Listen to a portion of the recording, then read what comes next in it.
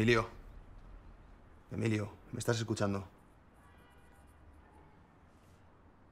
¿Qué?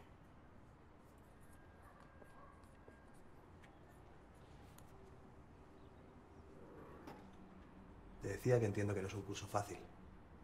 Tienes bachillerato a la vuelta de la esquina. Es normal que las notas bajen un poco.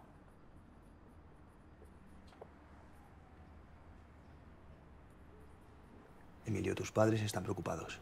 Ellos. Nunca están en casa. Todos necesitamos ayuda de vez en cuando. Eso no significa que seas débil. Ya, pero es que yo no he pedido tu ayuda. Ni la tuya ni la de nadie, joder.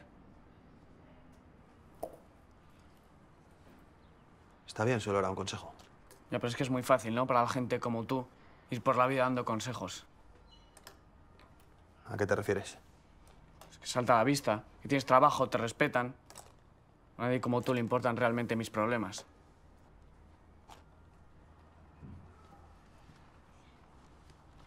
Sabes, me recuerdas mucho a alguien al que conocí hace tiempo. Un paquete estudiando. Algo así. Se pasaba el día enganchado a Expediente X. Un friki, vamos. De manual. Pero un crack en matemáticas. Pues entonces no se parecen nada a mí.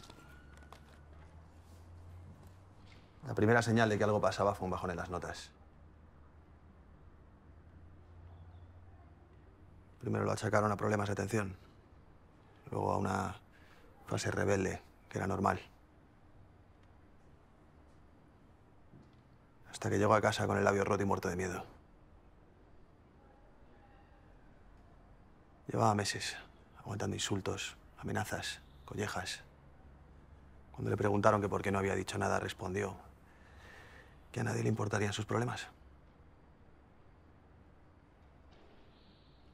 ¿Y qué pasó? Decidió denunciar a los que abusaban de él. Y Se convirtió en un chivato de mierda. no. Evitó que otros tuvieran que pasar por lo mismo. De paso entendió que la vida merecía la pena, a pesar de todo.